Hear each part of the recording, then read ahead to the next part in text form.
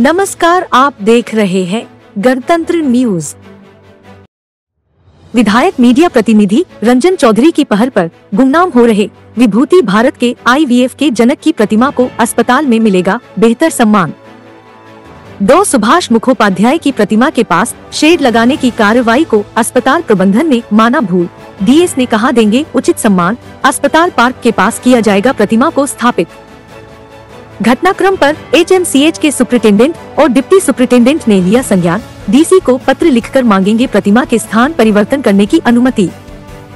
हजारीबाग की जनभावना का कद्र व सम्मान है ज़रूरी रंजन चौधरी।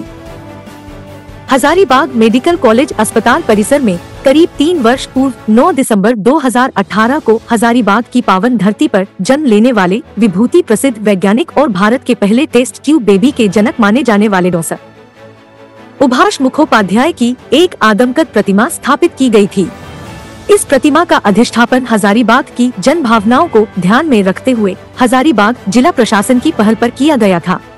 उनकी प्रतिमा अधिष्ठापन का उद्देश्य। समाज को ऐसे विभूति जिन्होंने सीमित संसाधन में, रिसर्च के क्षेत्र में उस वक्त उत्कृष्ट कार्य करने का गौरव प्राप्त किया, जब साइंस अत्यधिक विकसित नहीं हुई थी।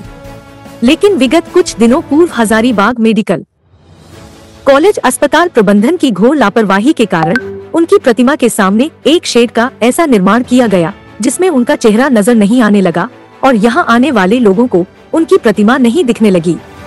इस मामले का को लेकर विगत मंगलवार हजारीबाग सदर विधायक मनीष जायसवाल के मीडिया प्रतिनिधि रंजन चौधरी ने पुरजोर तरीके से उठाया और हॉस्पिटल के मेडिकल सुप्रिंटेंडेंट डॉ. विनोद कुमार से मिलकर हजारीबाग की जनभावना का कद्र करते हुए ऐसे महान विभूति जिनकी जन्मस्थली हजारीबाग है, उनके सम्मान की रक्षा के लिए तत्काल प्रतिमा के समक्ष लगाए गए शेड को हटाने या उनकी प्रतिमा स्पष्ट रूप में दिखे, ऐसा स्वरूप प्रदान करने की मांग की। क्योंकि मूर्ति तो बिल्कुल ढक गया, नहीं दिखता।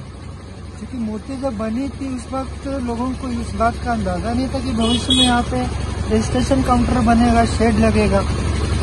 तो उस वक्त ये कोई अंदाज़ा था नहीं, और जब बन गया शेड अब नज़र में आ रहा है, सब लोगों को नज़र में आ रहा है मीडिया में भी आ रहा है। रंजन जी भी इसको बहुत इस पर ध्यान दे रहे हैं। तो डिस्कशन भी किए हमसे। तो हम लोगों ने यही डिस्कशन किया और विचार किया कि मूर्ति को शिफ्ट करना ही सबसे अच्छा उपाय रहेगा हम लोग निर्णय ये ले रहे हैं कि मूर्ति को वहाँ से शिफ्ट कर लें और एक ऐसे जगह पे लगाएँ जहाँ से सभी लोग देख सकते शेड को तो हटा नहीं सकते बिकॉज़ ये डिस्ट्रीब्यूशन काउंटर है रजिस्ट्रेशन काउंटर है तो बारिश और धूप के लिए बनवाया गया था। बनवाते वक्त ये भूल हो गई थी लेकिन अब मूर्ति को वहाँ से शिफ्ट करके ऐसे स्थान पे अधिस्थापित करेंगे जहाँ से सभी लोग हाँ, सभी जगह से विजिबल हो। गणतंत्र न्यूज़ की और वीडियो को देखने के लिए चैनल को सब्सक्राइब करें और सीधा नोटिफिकेशन पाने के लिए बेल आइकॉन को ऑन करें।